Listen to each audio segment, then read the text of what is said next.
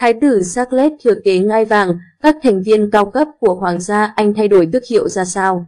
Sự ra đi của nữ hoàng Anh đã khiến đại gia đình có nhiều sự thay đổi trong hàng kế vị và tước hiệu. Mùng 8 tháng 9 năm 2022 sẽ là ngày mà Hoàng gia Anh và lịch sử thế giới không thể nào quên được khi nữ hoàng Anh, vị vua vĩ đại bậc nhất trong lịch sử, đã qua đời ở tuổi 96.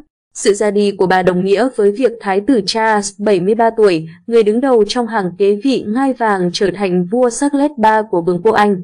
Vua Charles sau đó đã đưa ra tuyên bố đầy xúc động, sự ra đi của nữ hoàng, người mẹ kính yêu của tôi, là khoảnh khắc đau buồn lớn nhất đối với tôi và tất cả thành viên trong gia đình. Chúng tôi vô cùng thương tiếc sự ra đi của quân vương đáng kính và người mẹ được nhiều người yêu mến. Trong giai đoạn tăng tóc và biến động này, gia đình và tôi hiểu rõ sự tôn trọng, tình cảm sâu sắc mà những người yêu mến dành cho nữ hoàng và chúng cảm thấy được an ủi. Ngồi ngoài hơn nhờ điều đó, thành viên hoàng gia thay đổi tước hiệu như thế nào? Các thành viên hoàng gia khác cũng thay đổi vị trí trong danh sách kế vị cũng như tước hiệu khác. Hoàng tử William chính thức trở thành người đứng đầu trong danh sách thừa kế ngai vàng theo sau anh là con trai cả George. Vợ chồng hoàng tử William, công nương kết chính thức sở hữu tước hiệu mới là công tước và nữ công tước xứ Cornwall. Trước đó, tước hiệu này thuộc về vua Charles và vương hậu Camilla. Giờ đây họ sẽ trở thành công tước, nữ công tước xứ Cambridge và Cornwall. Ngoài ra, Hoàng tử William còn có khả năng được phong làm thân vương xứ Wales giống như cha mình.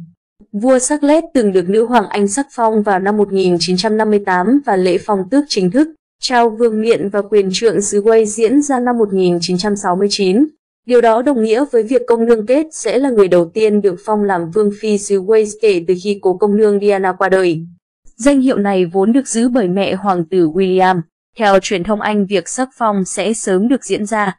Truyền thông Anh cũng đưa tin, dù thái tử Charles lên ngôi vua, nhưng nhiều khả năng tước vị của Harry và vợ Meghan sẽ không thay đổi. Vì họ đã rời khỏi vai trò là thành viên cao cấp của Hoàng gia Anh. Mặc dù vậy, hai người con của cặp đôi là bé Archie và Lilibet thì sẽ có thay đổi lớn. Các cháu của Tân Vương đều trở thành hoàng tử và công chúa. Do đó, bé Archie và Lilibet nhiều khả năng có thể trở thành hoàng tử và công chúa. Trước đó hai đứa trẻ sau khi sinh ra không nhận bất kỳ tước hiệu hoàng gia nào theo mong muốn của vợ chồng Harry, Meghan.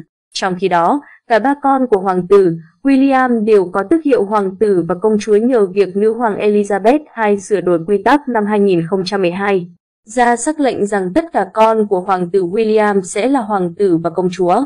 Theo Guardian, hiện nếu vua Charles III không phong tước hiệu cho hai con nhà Harry, thì nhà vua sẽ phải ban hành sắc lệnh sửa đổi quyền trở thành hoàng tử của Archie và quyền trở thành công chúa của Lilibet.